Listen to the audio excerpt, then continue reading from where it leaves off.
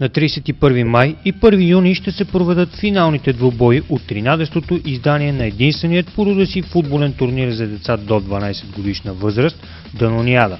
Традиционно надпреварата се организира от Данон Сердика съвместно с Министерство на образованието, младеща и науката и Българският футболен съюз. От 2008 година насам партньора на турнира е и фундация Димитър Бербатов – като това е част от поредицата съвместни инициативи между фундацията и Данон. И през настоящата 2010 година патрон на Международна купа Данон ще е световно известният футболист Зенедин Зидан. Неговата подкрепа за турнира е още един стимул за милиони деца по света да повярват в мечтите си и да ги реализират.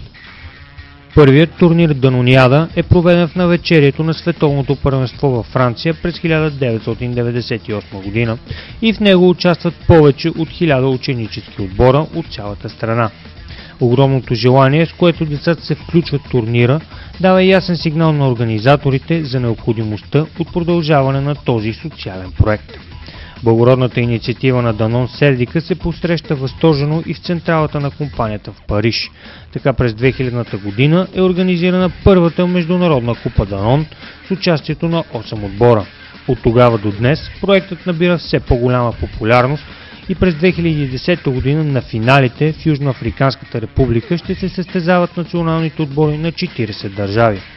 Освен всичко, Международната купа Данон е единственият официално признат от FIFA турнир за деца до 12 годишна възраст.